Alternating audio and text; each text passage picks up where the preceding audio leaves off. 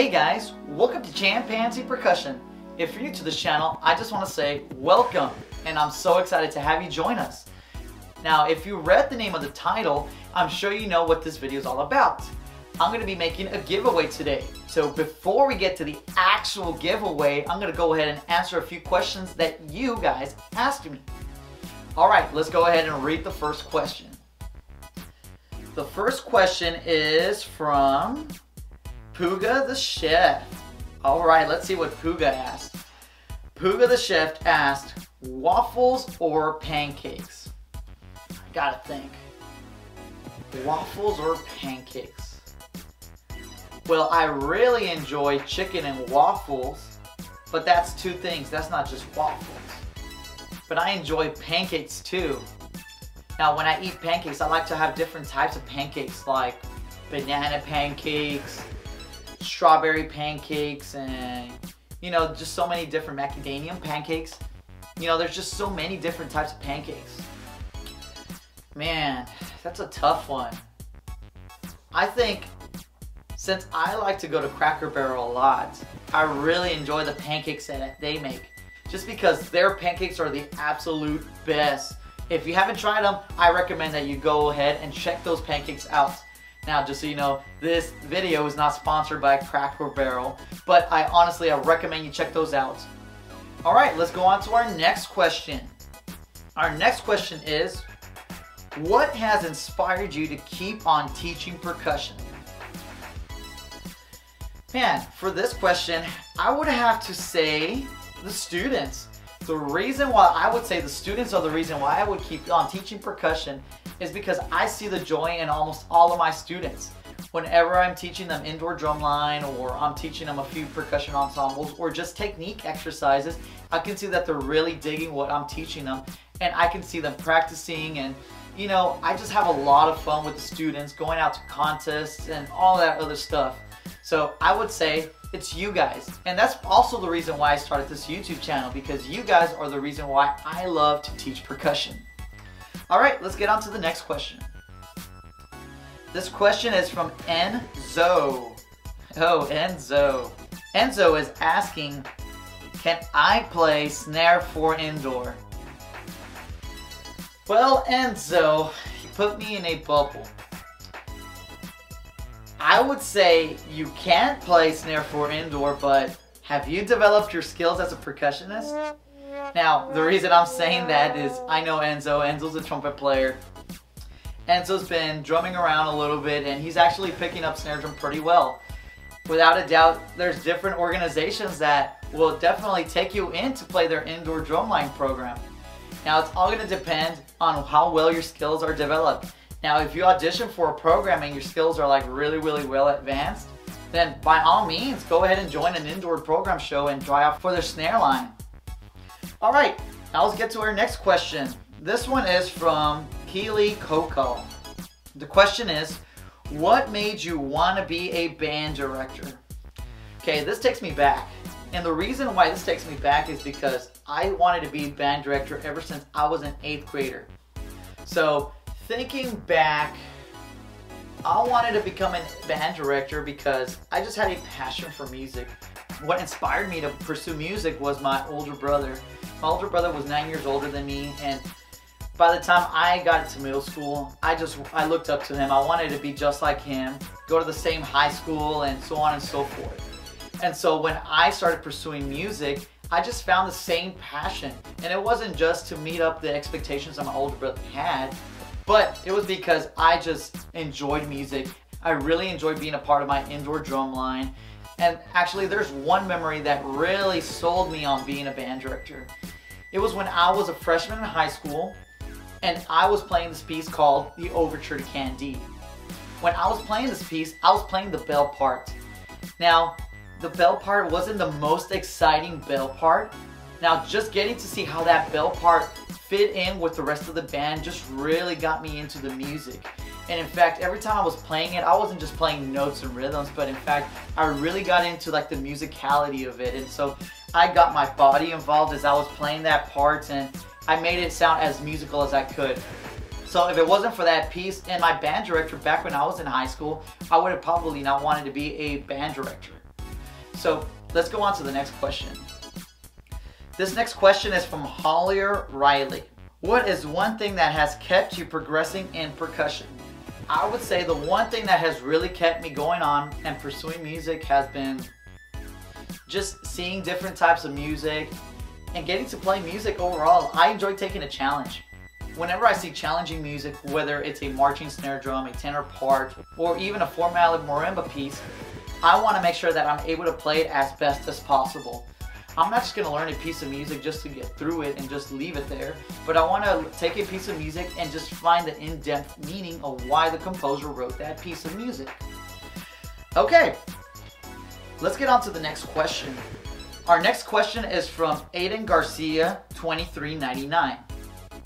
This question is, what are your top five drum corps?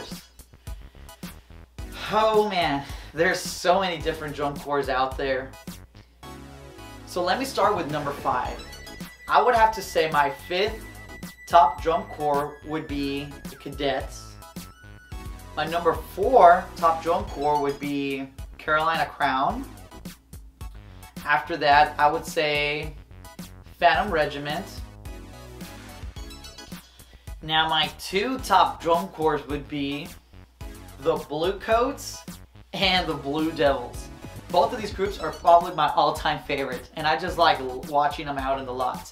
But if I had to pick my top drum corps, I would have to say the Blue Devils. I don't know, there's just something about the Blue Devils. And in fact, back when I was in high school, my high school band director marched Blue Devils himself. And so ever since I was there, he would really like talk about the Blue Devils and bring them up. And back then, when I was in high school, the Blue Devils were always first place. And so the Blue Devils have always had a place in my heart. Okay, let's see what else we got. This question is from GK Matul. His question is, can I be section leader? Well, I'm gonna have to say no. I'm just messing with you. It's all gonna depend on what leadership skills you're to show and how well of a player you are or can be in the future. So to be section leader, you want to demonstrate a lot of leadership skills. You want to make sure that you're enforcing sectionals, you want to be pushing those around you in a positive way. You want to make sure that you're there practicing with them. And if anybody ever has a question, they want to come to you and know that you can help them whenever a band director's not around. Now, a band director is also looking for a person to step it up all the time. You know, always being there early at rehearsal and checking in with the rest of the percussion section. So, for you, GK Matul, I would say it's possible to be section leader. It's all just gonna depend on what traits you have. Do you have a drive for music? Do you wanna be the best that you can be? And do you inspire those around you? Now, if your answer is yes to all those and you continue to improve and your director sees you improving, then I say, why not? You can also be section leader. I would just wait till the next season and try out to be a section leader. All right, let's look at the next question. We have quite a few more questions. This one is from Minecraft Kid Gamer 6969. It says, have you seen my son? Well, I gotta say, I don't know who your son is, so I would say no. Okay. Alright, I got a few more questions from Puga the Chef. This one is, what is your favorite instrument to play? Now, I have quite a few different instruments I love to play. So back when I was in college and I was learning how to play all these instruments, one of the instruments that I really liked to play was the flugelhorn. Now the flugelhorn, it's like a mixture of a mellophone and a trumpet. And it has this nice and warm sound. And now this flugelhorn is used a lot in jazz. So I would say the flugelhorn is one of my favorite wind instruments to play. Now if I had to pick an instrument that pertains to percussion, I would say bass drum. And not just like the regular concert bass drum, but a marching bass drum. Back when I was in high school, I played bass two for three years. And I really, really enjoyed playing bass drum. There's a lot of really cool parts, a lot of sick licks, especially playing threes and fours on upbeats. And it just, you know, there, there's just so many different combinations that bass 2 and even bass 3 gets. But bass drum 2 is my all-time favorite marching instrument to play. All right, I'm gonna pick maybe just one more question and we'll go ahead and get started into our giveaway. Let's see. Hmm. This question says, where did I grow up as a child or teen?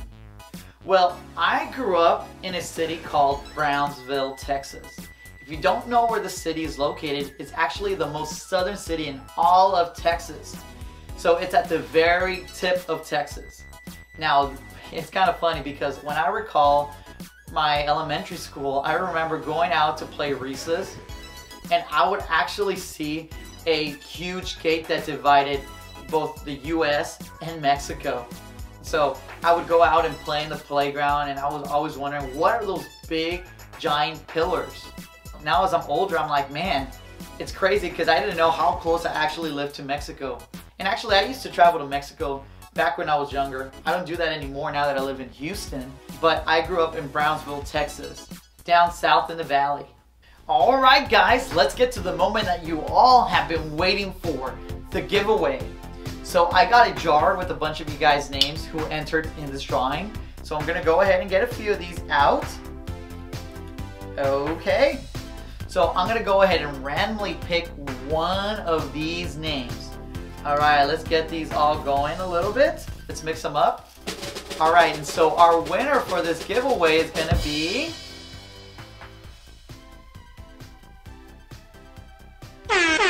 Zit Dill. Congratulations, Zit Thank you for entering in this drawing. You have now won two pairs of drumsticks, the JM1s and the JM2 by Salyers Percussion. Well guys, that's all I have for today. Now if you still have any other questions or any suggestions about videos, please comment below. Now if you enjoyed this video, please like and subscribe to keep up to date on any new videos I will be posting. Thanks for watching and don't forget to have fun.